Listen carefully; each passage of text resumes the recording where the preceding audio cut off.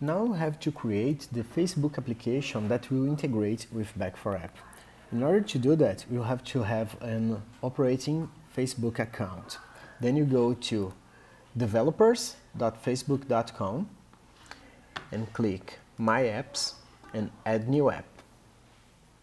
It will ask you for some information.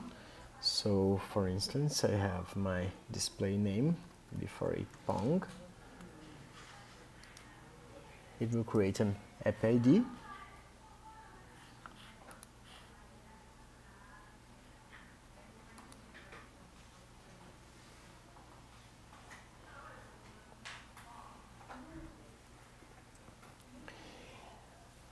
And now I have to set up the Facebook login, which is the part we will be using today.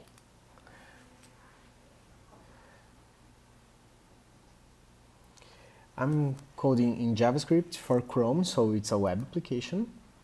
It will ask me for the website for my URL. You have to have that URL from Back4App. It was https pong.back4app.io. Save it. Continue.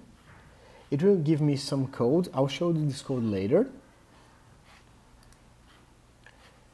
These are example codes.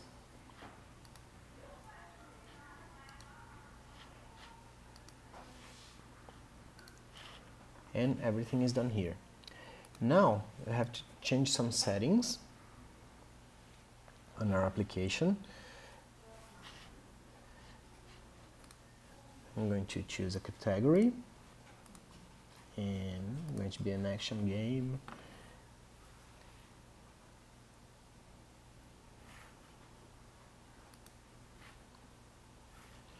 It will ask me for some addresses. Let's try the advanced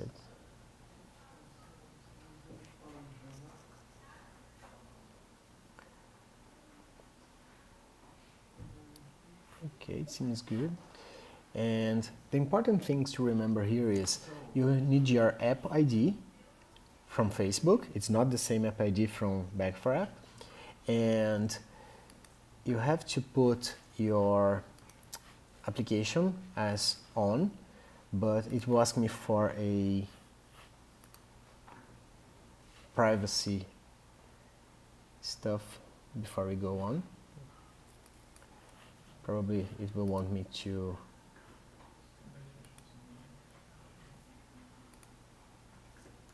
fill up some information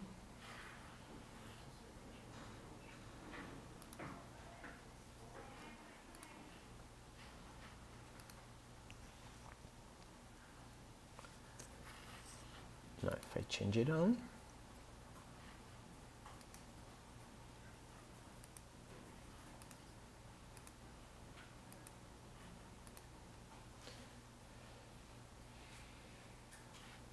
Now that's on, I can use it with Back4App.